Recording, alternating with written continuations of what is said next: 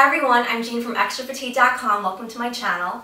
I haven't been on YouTube a lot lately, but before the end of this year, I wanted to come on here and say happy holidays to you all, and thank you so much for being a viewer this year.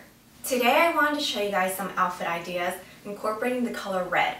Red is a very classic um, and festive color, and in China, where I'm originally from, it's also a very lucky color.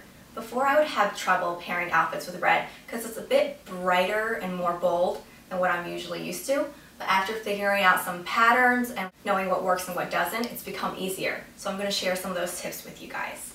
Today I'm going to be using this red pencil skirt in all of my outfits. But really if you have anything red, a mini skirt, pants, jeans, or even a top, you should be able to carry through the color schemes here throughout your outfits. I got this skirt actually at a thrift store. It was marked um, at $6 and I found this splotch on the front. I know that's kind of gross, but then I used it to go and bargain with the manager and I got it down to three bucks. And then I took it to my tailor's and spent around $25 to get it tailored to fit perfectly. The first color scheme I want to talk about is black or white with our red skirt. This is the easiest pairing and everybody has something black or white in their wardrobe. Right now I just have on my black blouse from H&M. This is old and it has lace trim and paired together with the red skirt, this just feels so foxy to me yet still elegant. This is something that I would like to wear to maybe a nice dinner. And if you have a shorter red mini skirt, I think this would work nicely as well for a night out. If you don't want to look too hoochie with black and lace and red, you can tone down the look with opaque black tights and just a simple black pump. For my second pairing in this color scheme, I chose this white chiffon blouse from H&M. I got this just last week, so it's current, and it was only $9.95. I love the look of stark white against red. It just looks very crisp and a little bit French even. Nobody would ever guess that this is a $10 blouse worn with a $3 skirt. I wore this look to work last week and I accentuated the white with just some pearl stud earrings and for fun and warmth I have on some sheer tights with a fun little polka dotted pattern.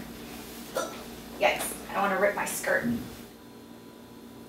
For one last look in the black, white, red color scheme, I wanted to show you guys a more casual outfit.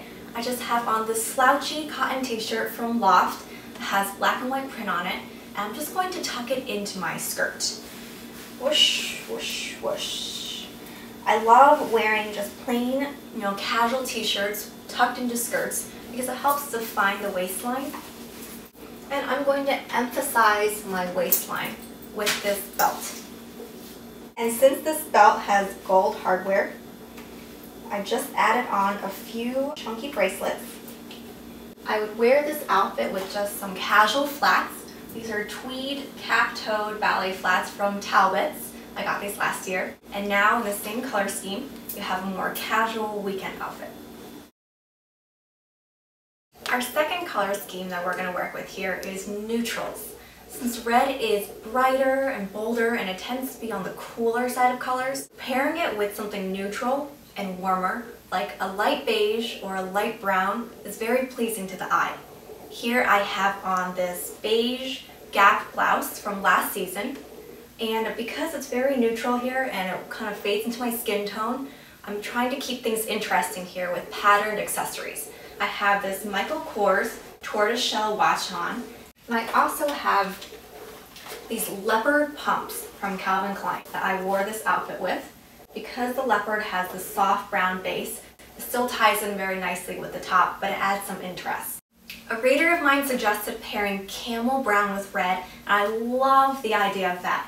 Camel with red is one of the all-time classics. I would love to add a camel coat or maybe camel blazer to my wardrobe soon. Right now, all I have to show you guys is this, but it'll do.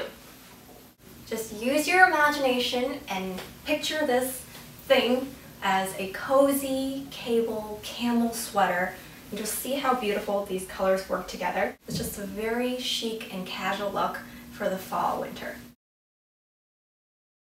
For our last category of pairing ideas, we are going to work with patterns and prints. So on the color wheel, red is next to orange and purple.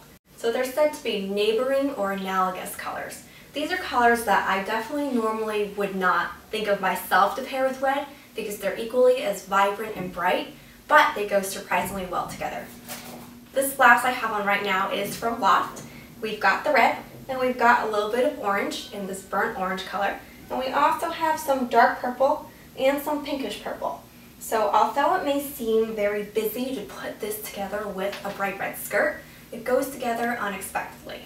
For an added layer, I'm just going to stick within the color family already here and just pick one of these colors for a cardigan or a jacket. I have worn this outfit in the past with this brick red cardigan from J. Crew, or can go a little bit brighter and more fun with a cardigan this color, which goes with this bright pinkish purple that you see in here. So because my outfit here is already so busy and vibrant, I want to keep the shoes sleek and simple and very close to my natural skin color. I did a video before on the neutral pump, and I have quite a few.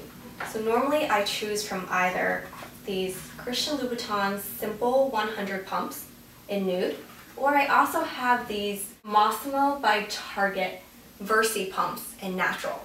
These have a little bit of a platform. Our last outfit for today is a bolder combination. When I saw how well the leopard shoes worked with the red skirt, I decided to try it up top. I think the key to making a combination like this work is to one, keep your other body parts covered. You don't want to do this with a mini skirt or a cleavage bearing leopard top. And number two, keep the rest of your body and your accessories very neutral. Here I'm using just another beige blouse from The Gap to cover up my chest and this is a leopard cardigan from Ann Taylor. And I am finishing off again with a nude shoe. You can also do a light camel shoe to keep your legs streamlined and not take more attention away from the outfit going on here. This to some may be bordering on like a trashy combination, but when done right, keeping those two points in mind, I think can actually be very classic and beautiful. That's all I have for you guys today. I hope you all enjoyed this segment. And as always, if you have any outfit ideas or suggestions for pairings yourself, I'd love to hear them in the comments or on Twitter or my Facebook. Thank you so much for watching. Have a safe and happy holidays, and I will see you all next time. Bye-bye.